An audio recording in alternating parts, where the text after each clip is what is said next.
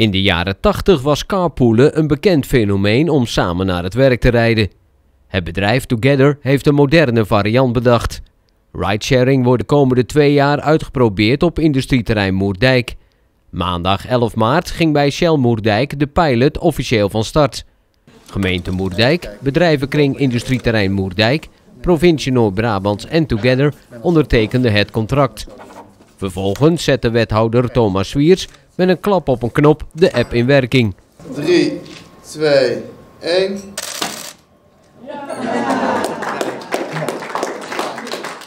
Joost Bijlsma van Together legt uit hoe het systeem is bedacht. Nou, we zijn op het idee gekomen dat er heel veel uh, carpool apps al waren destijds, maar geen duidelijke focus. Dus vooral uh, voor consumenten die het één keer in het jaar konden gebruiken.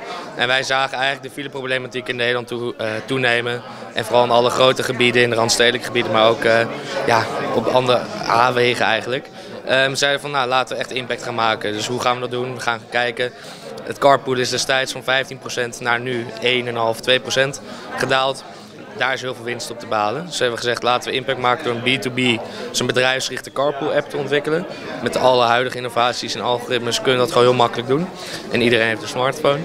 Dus uh, laten we kijken hoe we met bedrijven hun medewerkers samen kunnen laten rijden om mensen uit de spits te halen en uh, ja, de impact daar te maken. Ja, want hoe werkt het precies? Uh, bedrijven melden zich aan, of bedrijfsgebieden zoals hier op Moerdijk natuurlijk. Dan gaan wij met de bedrijven kijken, oké, okay, wat is de situatie? Hoe kunnen we uh, mensen benaderen? Wat voor communicatie willen we intern en over een heel gebied heen hebben? En uh, daarna melden mensen zich aan met hun zakelijk e-mailadres. Komen in de grote community, dus of een Shell community of een Moerdijk brede community.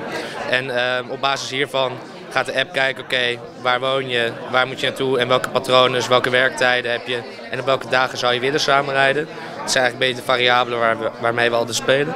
Um, op basis daarvan gaat ons algoritme de beste mogelijke matches voor iedereen maken. Uh, om gewoon die, ja, die virtual matches te krijgen. Dus je hoeft niet zelf op zoek te gaan naar iemand, zoals het eigenlijk met het gewone carpoolen was. Maar eigenlijk de techniek zoekt voor jou uh, ja, de meest geschikte auto. Ja, hoe het vroeger ging bij de Albert Heijn, een briefje ophangen, ik woon hier en ik uh, moet elke dag daar naartoe. Dat hebben wij nu digitaal gemaakt. Dus eigenlijk geef je eigenlijk op maandag, woensdag en vrijdag samenrijden. Uh, ik wil om 9 uur op kantoor zijn en ik ga om 5 uur weer weg. Op basis van die variabelen gaat ons algoritme kijken hey, welke collega's of mensen van andere bedrijven wonen er bij jou in de buurt. En uh, kan jij met zo min mogelijk omrijafstand uh, ophalen of opgehaald worden om samen naar kantoor te gaan.